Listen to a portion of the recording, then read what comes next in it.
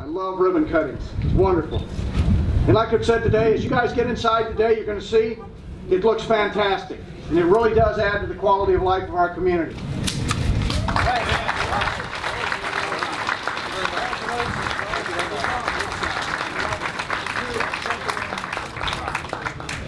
I think it's beautiful, very spacious and convenient. I appreciate it. Lots of space, lots of good deals. Love it. Well, it looks like they have more choices available to the public. Uh, definitely uh, improvement. I love it. I like the size and how fresh all the produce are. It has every food you can imagine.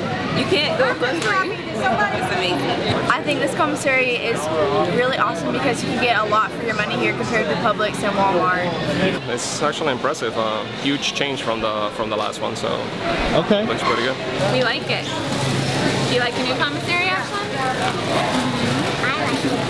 That's nice, huh? Fully stocked with everything that I was looking for and it's great that I don't have to go to another store to find the rest. We have four kids, so I'm always running out to get milk and stuff like that, so it's nice to have it real close. Service, big thing is service. Just overall better.